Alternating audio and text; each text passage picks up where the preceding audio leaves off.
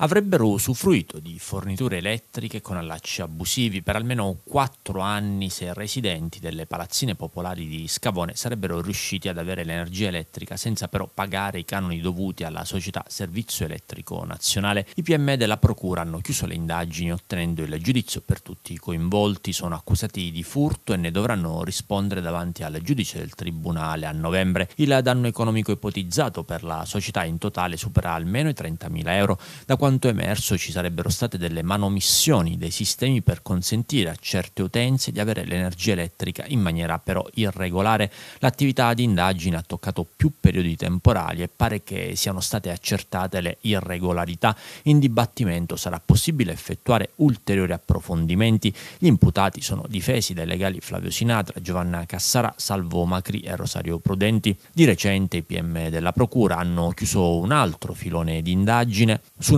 un'attività investigativa che però ha riguardato gli allacci alla rete idrica. Anche in quel caso sono stati posti sotto stretta osservazione diversi utenti, compresi alcuni che vivono proprio nelle palazzine popolari di Scavone.